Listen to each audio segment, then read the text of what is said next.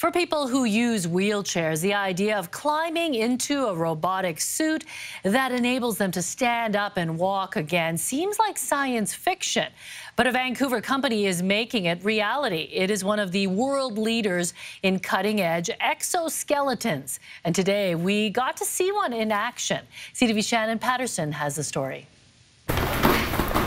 Chloe Angus is about to do something incredible.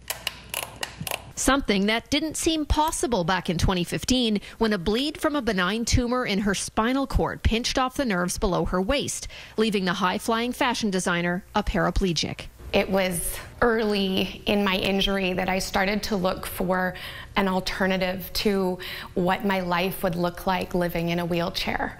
But she could never have imagined this. With the help of a state of the art exoskeleton built by a Vancouver robotics company, Angus is once again able to walk. So, our goal was developing a wearable suit that enables those people, um, people with motion disabilities, to walk similar to able bodied people. It feels like freedom, it feels like independence to be back up and at eye level and participating at my fullest. It feels wonderful. Feels like myself again. In this model, the user operates the exoskeleton with a handheld joystick. And turning is as necessary as walking forward. and the next generation will be even more high tech. Our future goal is to um, uh, use the brain signal and other um, interfaces for making the communication between the exoskeleton and human more intuitive. For people who've been confined to a wheelchair, it's life changing.